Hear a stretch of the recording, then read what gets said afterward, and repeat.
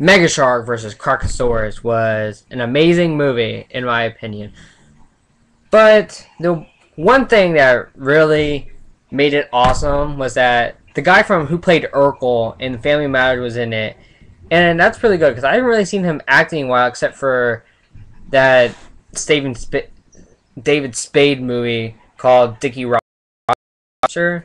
But yeah, it was pretty good. Um, one thing that really got me mad was the when the 700 foot famine they were I think it was called the USS uh, Arizona or something, but it was they were using giant mortars to shoot at it, but then again, it didn't harm the shark at all. I mean, I know it's a sci-fi movie; the effects are kind of horrible in a way, but it was pretty good. Um, I always like how they're they're in the croc scene in the Mega Shark final fight. Is that they were?